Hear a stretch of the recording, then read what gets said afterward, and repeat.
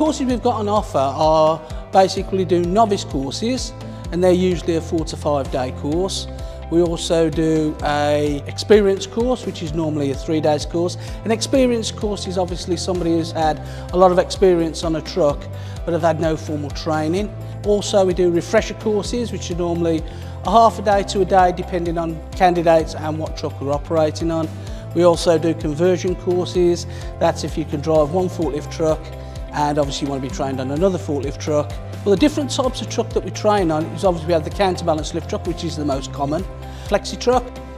We also then have a reach truck, PPT training, which is, stands for uh, pedestrian pallet truck, and also we do scissor lift training as well. How it starts is we usually have candidates that come in first day. We introduce them to the centre, show them the trucks, then we take them upstairs, and then what we do then is classroom presentation with those people to make sure they're fully aware of all the health and safety legislations and all the dangers which are associated with using a forklift truck.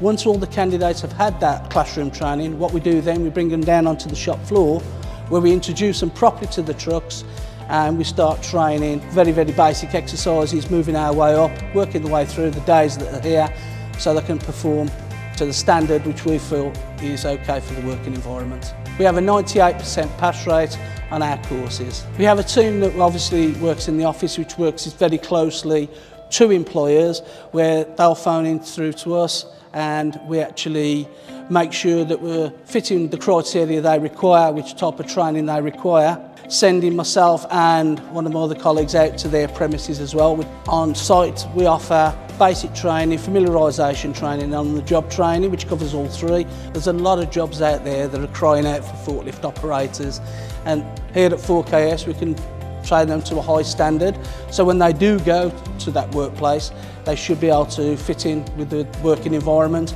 We teach tight confined areas which helps the candidates if when they actually go into the real world.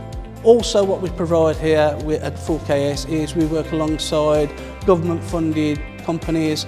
As an example would be like Momentum and also Sure Trust. These companies are government funded to get people back into the workplace. Obviously now we've just opened up our brand new centre which can accommodate a lot more people. We've doubled our capacity training to help give all candidates high quality of training that 4KS have always provided but on, a larger scale now, higher capacity, more capacity.